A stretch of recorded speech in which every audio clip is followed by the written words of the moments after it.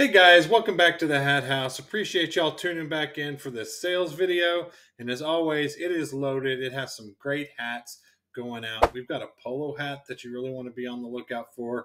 It's a little different. Uh, also got a band hat that uh, we unboxed the other day uh, that sold pretty quickly and kind of a pricing lesson uh, in there with that one. Uh, and then we've also got uh, sports hats. We've got several sports hats uh, going out for 40 50 dollars. Uh, sports hats are really doing well right now. While i had you here i did want a little crowdsourcing. Uh, what do you guys think my next video should be? I'm always going to do the sales videos but uh, i've had some ideas on the next video. I'd like to hear you down in the comments uh, what kind of you'd like to see. I have a couple ideas i want to share with you. Uh, one what about a top 10 sales video? Like i pull up all my sales for the last year and see if I can find, I know I can find the 10 hats that sold for the most money and we can go through those kind of like a top 10 list. I think that would really be fun.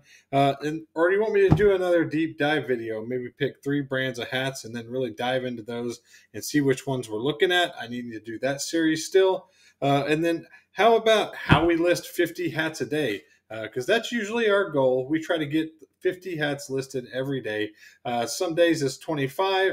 Uh, a lot of days we do 50, but we do a little clothing on top here and there uh, also to supplement that. Last thing, if you haven't hit that subscribe button yet, I'd really appreciate that. I don't try to ask every single video, but I know about 66% of you guys are watching but not subscribing. So uh, I'd really appreciate if you just hit that button real quick. It really keeps me motivated to keep doing the videos and keeps me favorable in the algorithm, which is always important. So let's get to the garage and see what sold. All right, guys, first up for $13 going out was this uh, Harry Potter, the Deathly Hallows. It was a flex fit hat. Cool hat. Next up was this G-Pat. Uh, it went for $12. It was a vintage G-Pat, had a rope on it, uh, nice embroidery, just kind of a little rough shape. Uh, it, somebody could probably bring it back to life. Next up was a North Face strapback hat. This one went for $16. Uh, and it was some intense negotiations uh, with this uh, with the buyer. He wanted me to measure the circumference and the radius and the diameter. And I, I said I, I didn't have time to do that. But uh, he bought it anyways, $16. Next up was a Pink Floyd hat. This one went out for $17. Dark Side of the Moon on the back. Just a regular Pink Floyd dad hat. It did have the Pink Floyd tag on the inside too. Next up was a Nike Featherlight hat. It went for 13. It was a youth. It was kind of a smaller size with the white swoosh on it. There's the Featherlight tag. Next up was a Volo Polo. Uh, this kind of had the P and Old English on the front. It went for $65. Uh, really neat hat right here. It went international as well. It had the leather strap back on it. And uh, here's the, uh, the tag. Really good one to look out for. Polo hats, you just always want to pick them up, especially if they're a dollar or two.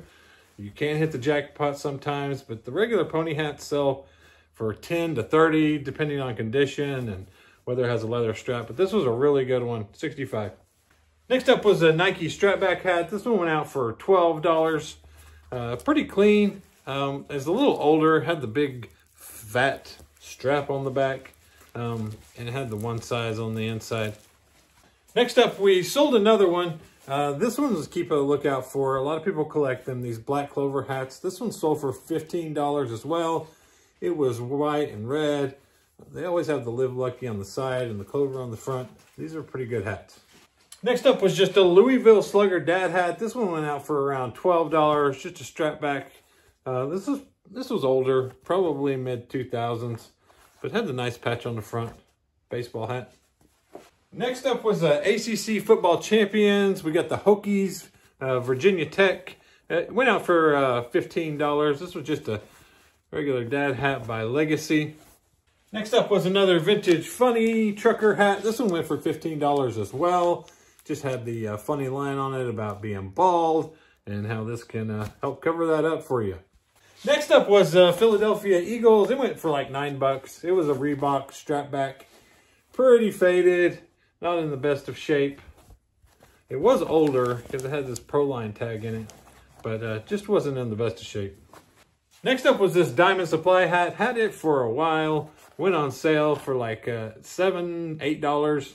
Uh, still had the cool snaps on the back with the diamonds, but Diamond Supply does not sell that for that much or that fast usually. They have cool hats, but uh, just not really in demand. All right, next up was this New York uh, Mets uh, vintage hat. It was in pretty good shape. It went for $28. One, because it had the Youngan Snap on it. And uh, it wasn't like full mesh like you see a lot of times in these types of trucker hats from like the late 80s, early 90s. Uh, and it just went, uh, it sold pretty quickly uh, for $28. All right, let's go to Mary uh, with a couple of your questions. We'll get answered throughout this video. I want to make sure that I answer some of them on the video, but I answer every single question in the comments. So if you ever have anything, drop it down below, but we're going to answer a few of them in the videos that we do too. So what you got, Mary? Uh, the first question is from Florida Native 59. They want to know what percentage do we promote at? Um, promoted listings is a very touchy topic. Everybody has their own way of doing it. If the hats are rare, and what I usually do is I will go a day without a promotion uh, in case somebody was looking for that specific hat and they have a search set up for it, they're going to find it either way so you can sell it without promoting it at all. After a day goes by, I start promoting at 2.6%. Uh, that's a flat rate on everything.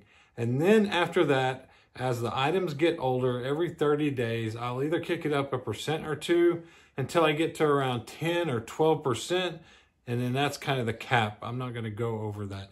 But I give items time to sell before I start either marking them down or spending too much money in promoted listings.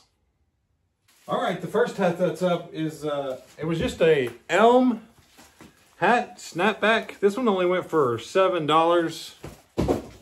$7 hat.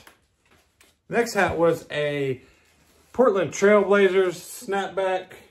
Snapback Portland Trailblazers hat. It went out for $10. The next hat they got a really good deal on. This is a vintage Louisiana Raging Cajuns. Had a really cool logo on it. Uh, it was fitted, new era vintage hat. Only $10. Next up was a blank Richardson. Uh, this went out for like $8. People are always looking for blank hats. This one went pretty cheap. This is a flex fit blank Richardson hat. Next up was a hat that I've had forever. It went out for $8. It was just a South Africa theme. Just said South Africa on the back.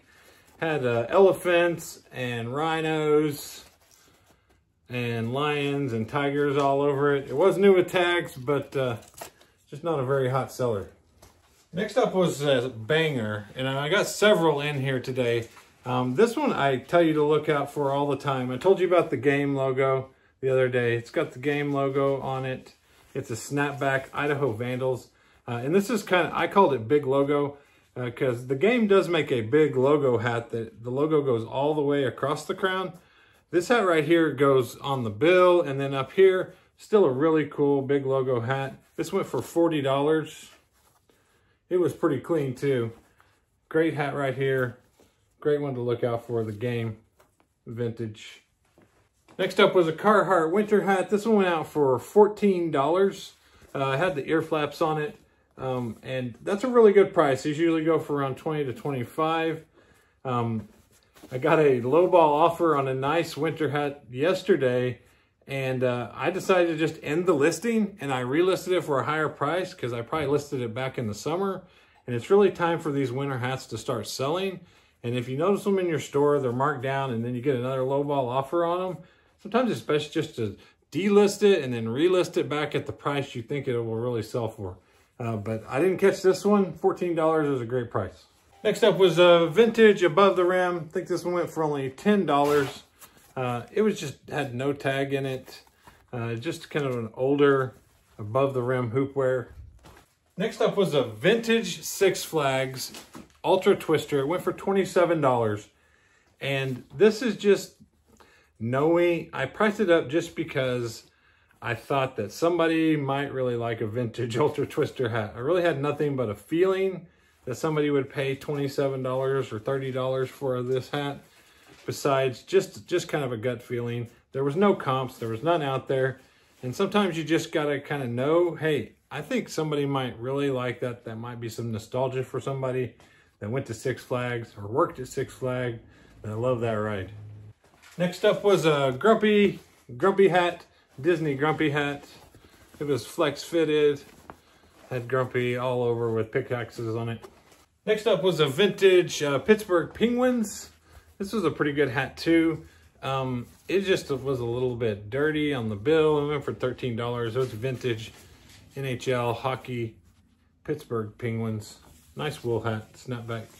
Next up was a great Nike hat that went for $23. This is Nike skateboarding, Nike SB. Always want to be on the lookout for Nike skateboarding. This is a regular white dad hat with the pink swoosh, still $23, Nike skateboarding.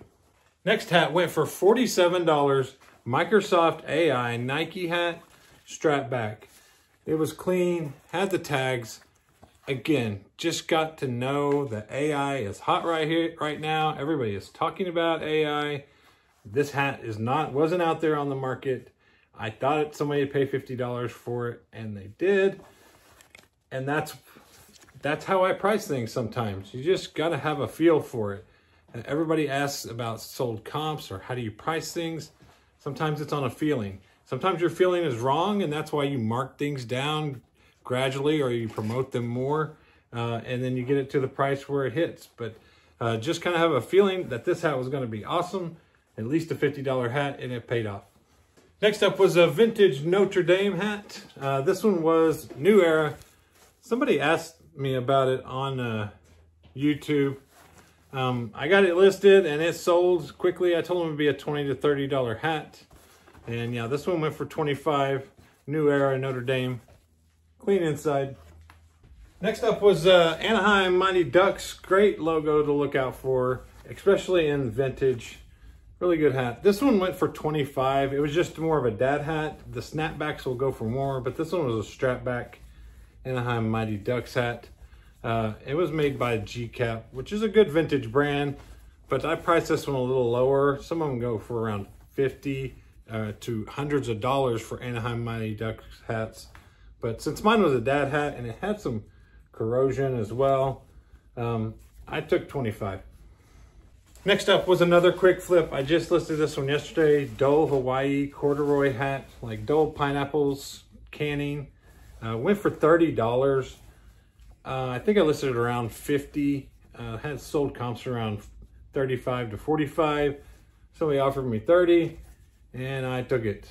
Corduroy hats though. It's getting colder they'll start selling. All right, last up was another banger sold in about 20 minutes. This one went for $50. This is a Detroit Tigers. Uh, I don't know how well I've explained the bar in the past, but this is when you're searching, these are five, this is five bar. There's a three bar and a five bar. This is a five bar. And uh, I priced it around 70 to 80. Uh, I took the 50. Most of them sold around 50 to 70. So I took the 50 in about two minutes. But you want to keep an eye out for these bar hats if they're vintage, like this one was by, I think, yeah, Drew Pearson. Definitely a vintage brand. Great Detroit Tigers hat, sold in about 15 minutes. All right, guys, if you hadn't hit that like button yet, I need you to do that right now because we're going to get to our next question that we're going to answer. So let's hear it, Mary. Okay, the next one comes from Oregon Coastal Crabbing Shellfish. They want to know do you accept all offers and how long does it take your average hat to sell?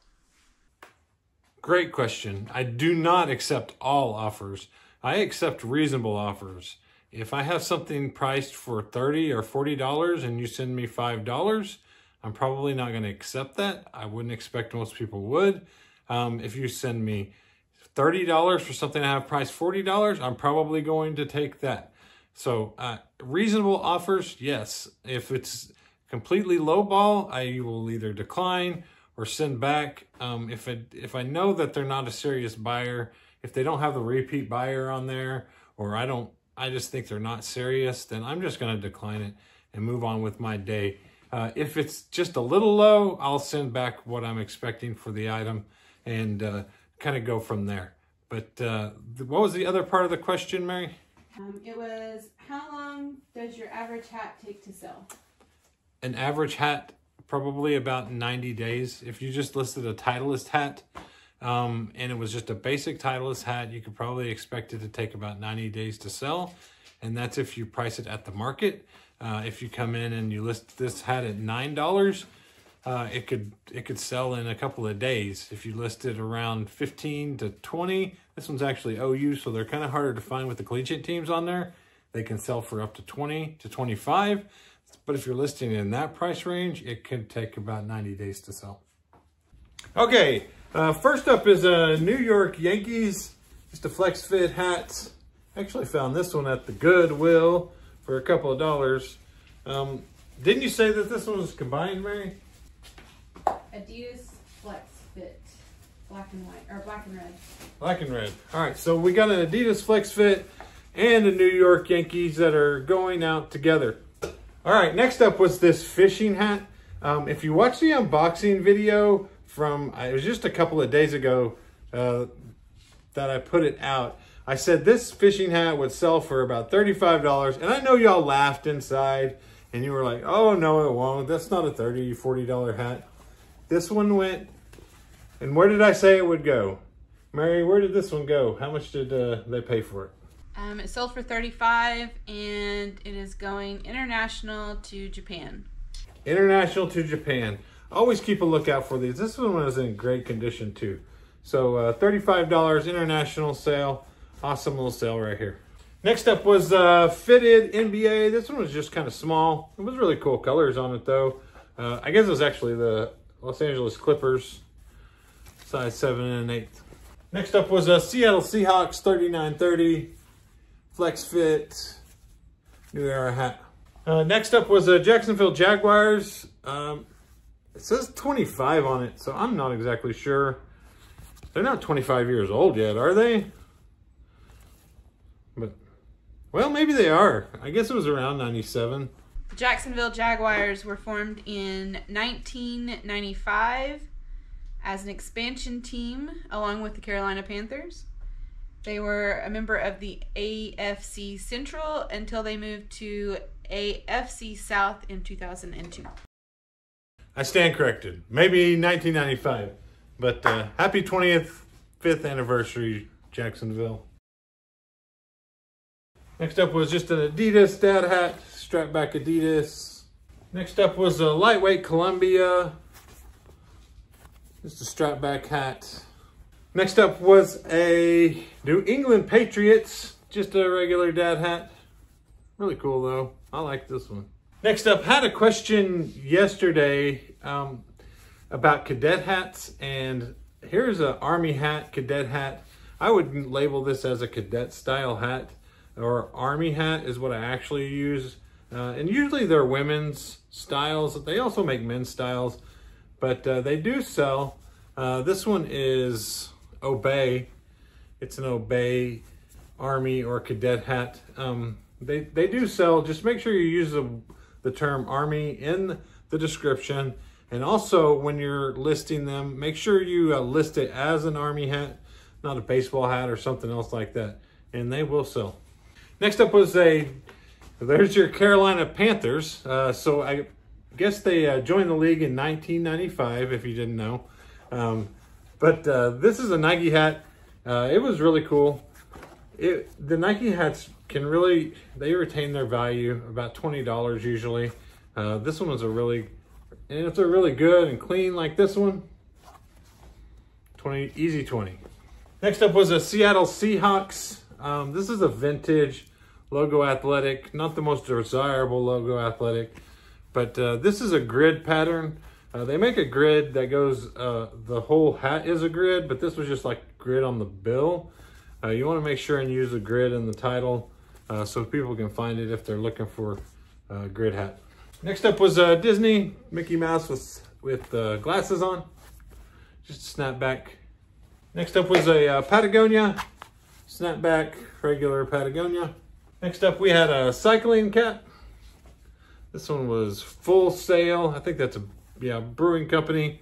It's a beer. Next up was an REI Co-op uh, fleece hat. Even though the clothing may not have picked up for us, the uh, winter style hats are still selling, uh, doing pretty well. Uh, this is a cool REI hat right here. Next up was uh, Oregon State Beavers. This is a lightweight Nike team hat.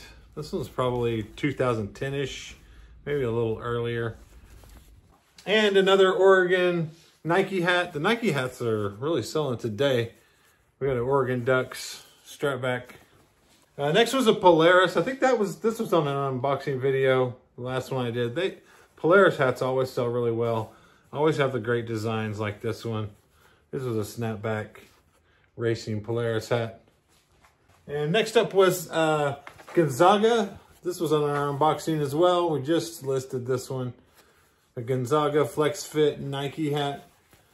Did really well too. I'm sure it went for around $20. All right, last up. If you saw our unboxing video, I know I keep saying unboxing video over and over again, but a lot of them we just listed, just got sold. This one was also really interesting. Uh, it was a cheap trick. I, I told you that um, it just depends how many are out there of this style and in the band hats. And if you have the only ones, you set the market. Uh, sold this one for around 40 to $50 because I had the only two actually. Uh, so that's where I kind of went in on the market. And so it's really important that you look and see what's out there. And especially band hats, if you have the unique one that not everyone has, that's when you want to do a little more research, price it up a little bit, and uh, get it sold for the most that you can. Oh, wait. Is it voice activated?